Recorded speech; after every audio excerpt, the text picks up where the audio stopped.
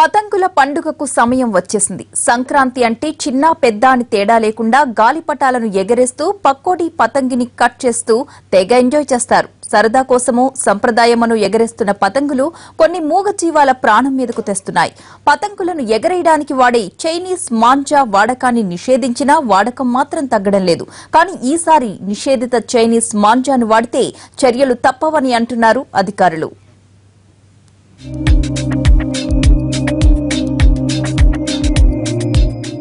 సంక్రాంతి వచ్చిందంటే చాలు. గాలిపటాలు ఎగరాల్సిందే. ఇది సాంప్రదాయం. అందరికీ ఇదో సరదా. పిల్లలైతే సంక్రాంతి వరకు కూడా వెయిట్ చేయరు. పతంగులు ముందే ఎగరాల్సిందే.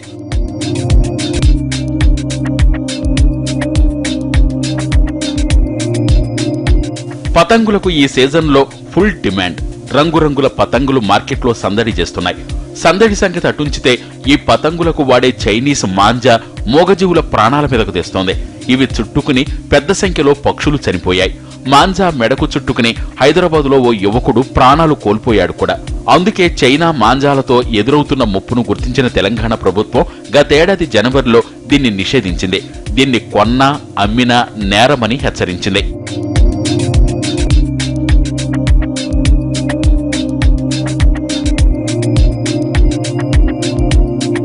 చైనీస్ మాంజాతో మనుషులకు జంతువులకు పర్యావరణానికి ముప్పేనని పర్యావరణవేత్తలు అంటున్నారు.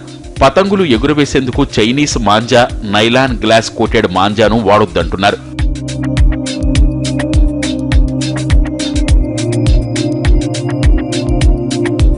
పండగంటే అంతా కలిసి సరదాగా చేసుకోవలసిన సమయం.